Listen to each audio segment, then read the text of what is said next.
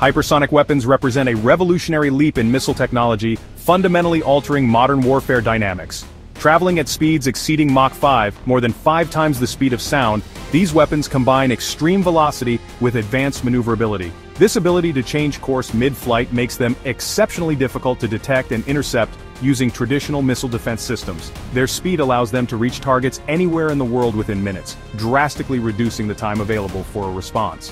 This compression of reaction time shifts the strategic balance, as nations must adapt to threats that can strike with little warning the US is actively developing hypersonic technology, integrating cutting-edge propulsion methods such as scramjets with sophisticated guidance systems. These enable hypersonic weapons to evade enemy defenses, penetrate fortified structures, and execute precision strikes with unmatched speed and accuracy. Beyond sheer velocity, hypersonic weapons redefine the concept of missile effectiveness by blending speed, agility, and precision. They challenge existing defense paradigms and compel a re-evaluation of military strategies worldwide.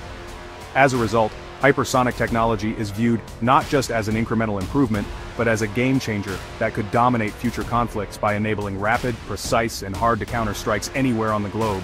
This combination of attributes makes hypersonic weapons a critical focus of current defense research and development efforts.